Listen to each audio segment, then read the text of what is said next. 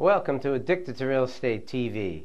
On today's episode, I'm going to talk about you don't find real estate deals, you find opportunities and then you turn them into deals. So stick around, I got some great information to share with you.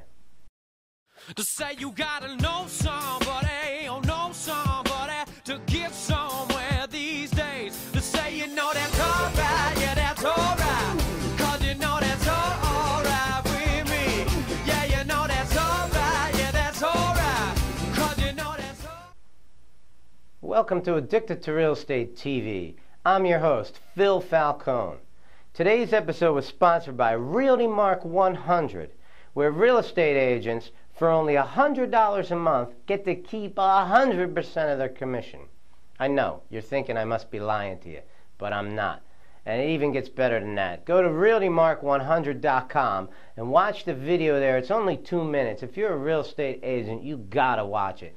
This idea, Realty Mark 100, the system that this company has, is going to kick everybody's ass. You got to check it out. They're the hottest real estate company coming up in the nation today. And this time next year is going to be a household name. So if you're an agent, you definitely want to check it out. There's some advantages to getting in on the ground floor. So let's get on with our show today. Today, what I wanted to talk to you about is you don't find real estate deals, you find opportunities and you turn them into deals.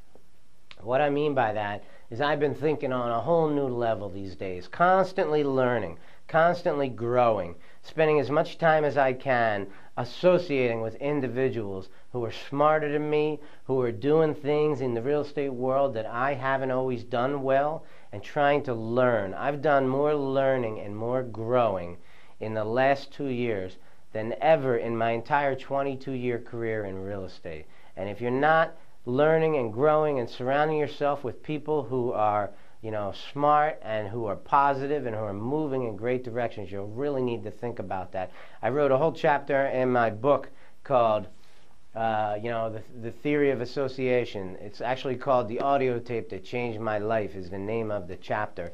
And if you haven't checked out my book, it's Addicted to Real Estate, Why I Can't Stop and Why You Should Start.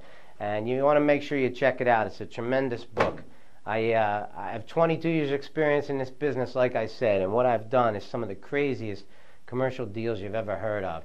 And the reader, what the reader gets to do when you read my book is stand behind my shoulder and listen to the stories about some of these crazy real estate deals that has priceless information for real estate investors to learn from. Okay, so let's get back to, to today's subject. What I'm trying to do today is constantly looking for opportunities. You know, there, there isn't just one thing that works anymore today. All right. So if I, I drop a lot of marketing and I find out about houses that people want to sell, I have a giant "We Buy Houses" thing on, on, on my truck. You can see it behind me. And what I'm doing there is trying to get sellers, people who own homes, people who want to sell those homes, to call me directly. Because the best real estate deal that you're ever going to make in your life and should I say the best opportunity that you're ever going to get in the real estate business is when you get to deal directly with the seller. So that's what my focus is on all the time. Now, when I sit in front of that seller, there's a lot of different ways that I can put that deal together. I want to listen to what the situation is with the house, what they think it's worth. And I want to care enough about their situation to ask questions about why are they selling the house? What do they need the money for? Okay?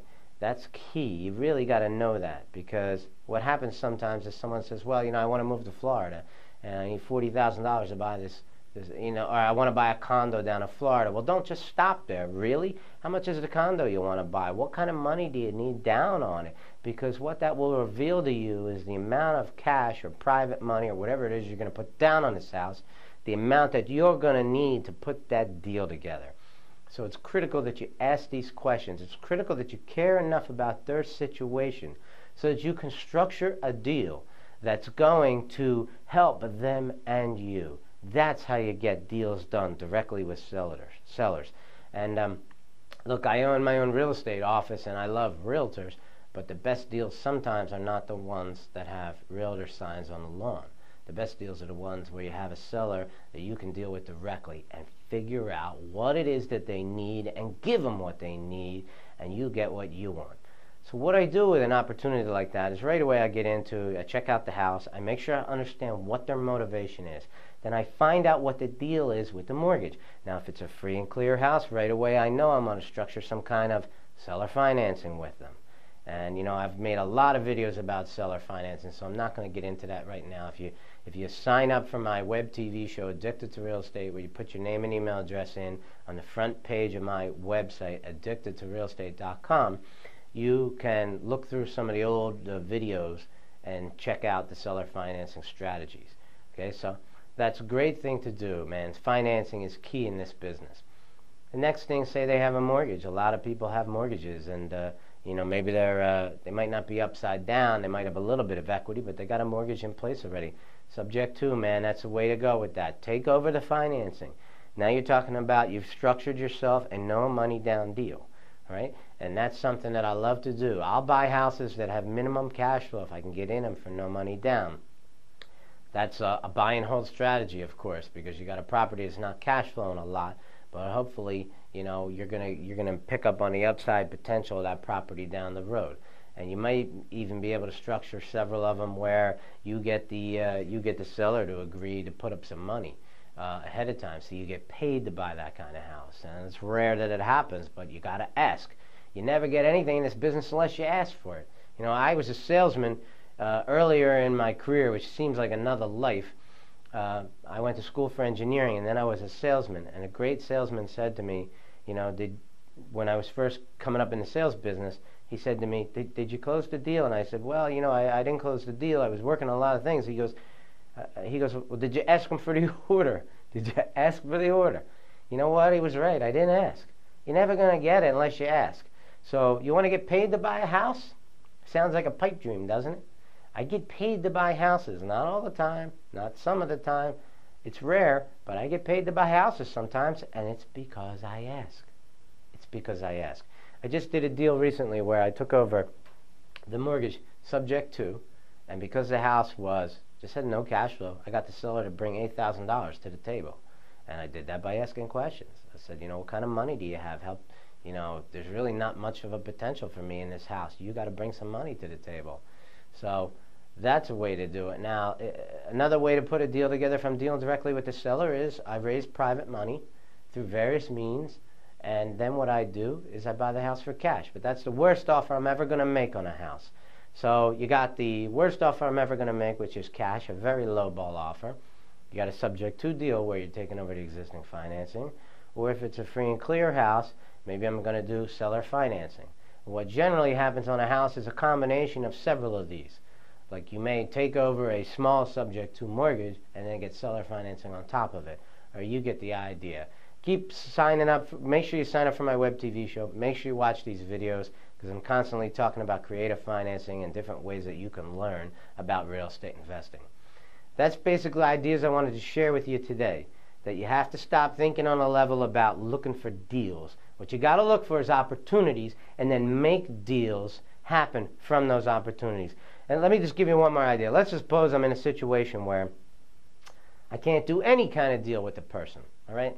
I can't do seller finance. I can't do subject to. I can't. I, I can't make a cash offer that'll make them happy, then usually what I do is I'll ask for the real estate listing. Give me a 30 day listing on the house. What the hell's the risk? You know, the house has been for sale for 11 months anyway, so who cares? Give me the listing. Maybe I can move it on the MLS. Maybe something can happen from it. So you should get your real estate license because that's always an option that I can fall back on that a lot of investors can't. And a lot of investors say, oh, it's a conflict of interest having a real estate license and an investor and being an investor. That's baloney. Just disclose what you're doing, disclose what you what you're capable of doing, and if you're a realtor, you disclose it. What's the big deal? You should be telling people the truth about any of these real estate deals you're doing anyway. So, thanks for watching today's video. I'm Phil Falcone. Make sure you check out RealtyMark100.com. Make sure you check out AddictedToRealEstate.com.